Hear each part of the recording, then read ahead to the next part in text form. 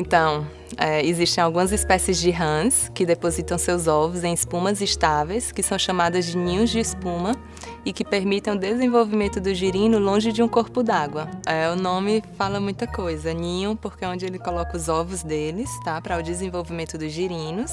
Espuma, porque eles colocam em uma espuma.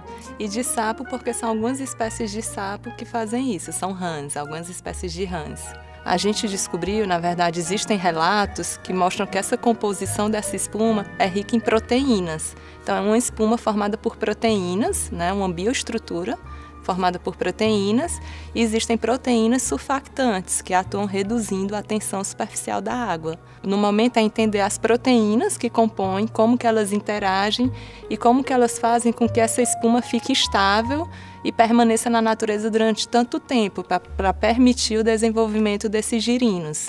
Então, assim, o mercado dos surfactantes é um mercado que está em constante crescimento. Existe uma busca, esses surfactantes são os detergentes, os sabões existe uma busca por surfactantes naturais. Os que a gente conhece, que são usados, são os surfactantes sintéticos. Então, esses surfactantes que proteicos, eles não são tóxicos para os girinos e aí tem diversas aplicações na né? indústria dos cosméticos, indústria têxtil, agricultura. Então, é um mercado que está crescendo e a gente está trabalhando com proteína surfactante que é rara na natureza, extremamente rara. É isso.